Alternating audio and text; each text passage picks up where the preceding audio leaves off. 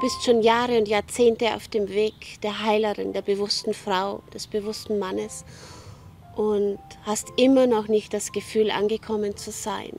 Immer wieder bist du auf der Suche, weil so eine Unruhe in dir ist oder dich Dinge des Lebens aus der Bahn werfen. Es geht um Schattenarbeit und nicht nur um ein paar Schättchen bearbeiten, sondern um tiefe Schattenarbeit, die aus deinem Herzen entsteht. In Verbindung mit Dimensionswissen, mit Chakrawissen, dass durch jedes Chakra in dir ein eigenes Universum entstehen kann. Es geht durch eine tiefe Verwurzelung bis hin in eine, ja, eine wunderbare Quelle, die aus dir heraus entsteht. Und das alles gepaart mit Sternenwissen, mit Dimensionswissen, mit dem Wissen, wer du bist, was dich ausmacht, was deine Gaben und Fähigkeiten sind.